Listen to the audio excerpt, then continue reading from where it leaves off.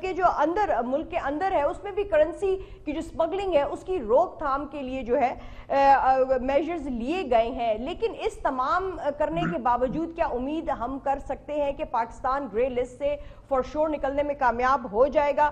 احمد چٹا صاحب، کیا فرمائیے گا؟ جی پہلی بات تو یہ کہ یہ میں سمجھتا ہوں کہ اس بات کی امید کہ ہم گرے لسٹ سے اتر جائیں گے۔ یہ بڑی جد و جہد کے ساتھ اور گورنمنٹ کو یقینی طور پہ اس بات میں مبارکباد دینی چاہیے کہ بڑے ایفرٹ سے اور بڑے کنٹرول سے آپ اس بات کو اس طرف لے کے آئے ہیں۔ ورنہ آج سے سال ڈیڑھ سال پہلے تک اور جب پی ایم ایل این کا دور ختم ہو رہا تھا، تب ہم گرے لسٹ کے اوپر آئے۔ میاں صاحب نے ایک ملتان میں اسٹیٹمنٹ دیا ایسی اس کے فوراً بعد ہی ہم گرے لسٹ پہ آگے تھے۔ تو حالات ایسے بن گئے تھے کہ یہی ڈر تھا کہ خدا نہ خواستہ ہم کہیں بلیک لسٹ کے اوپر نہ آ جائیں۔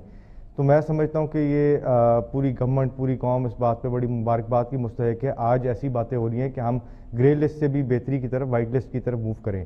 بیکاز اس کا ایک انٹرنیشنل کمیونٹی کے اوپر ایک بڑا امپیکٹ ہوتا ہے۔ آپ کی انویسٹمنٹ کے اوپر بڑا، بہت بڑا امپیکٹ ہوتا ہے۔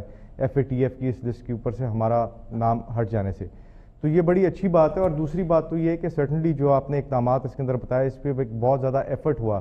تو ایف اے ٹی ایف کا بیسک مقصد تو یہ ہوتا ہے کہ ٹیرر فائننسنگ سے یہ معاملات ریلیٹڈ ہوتے ہیں اور کنیکٹڈ ہوتے ہیں کہ جب آپ uh, انلیگلی پیسہ پاکستان سے باہر جائے گا ان اکاؤنٹڈ فار پیسہ پاکستان سے باہر جائے گا اور ود ان پاکستان بھی کہ یہ کہاں پر یوٹیلائز ہو رہا ہے، کن کن چیزوں بھی یوٹیلائز ہو رہا ہے، جب ان پہ چیکس اینڈ بیلنس نہیں ہوں گے تو پھر uh, آبویسلی ایک بہت زیادہ بلیک اکانومی بھی ایگزسٹ کرے گی and that also shows lack of control کہ شاید ایسے پاکستان سے پیسہ ایسی مد میں جا رہا ہے جہاں سے آگے فردر ٹیرر فائنانس ہو رہا ہے۔ تو جب آپ فردر کنٹرول کرتے ہیں ان چیزوں کو اور ان کے اوپر امپلیمنٹیشن ہوتے ہیں تو ایک بہتر امیج کریٹ ہوتی ہے۔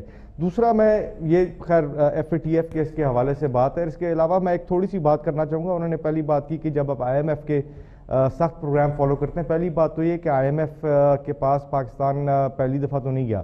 یا ہماری گورنمنٹ پہلی دفعہ تو نہیں کی، جتنی بی ایم ایل این چاہے پیپلز پارٹی، سب اس کی طرف پہلے جا چکے ہیں۔ دوسری بات ہے کہ کیا وجہ ہے کہ پاکستان تحریک انصاف کی گورنمنٹ کو آئی ایم ایف کے لون کی طرف جانا پڑا؟ تو وہ وجہ یہ ہے کہ جس وقت آپ کی انٹرم گورنمنٹ آئی تھی تو پی ایم ایل این نے دو مہینے سے بھی کم ریزروز آپ کی بیلنس آف پیمنٹس کو کور کرنے کے لیے چھوڑے تھے۔